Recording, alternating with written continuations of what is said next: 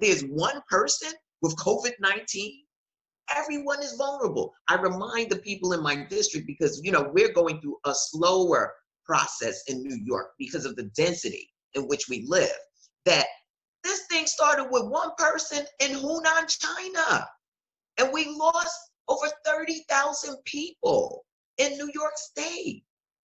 So we have to continue to hammer that home. And why it's important is if we want to reimagine ourselves as a prosperous nation, then we have to have a healthcare infrastructure that supports that.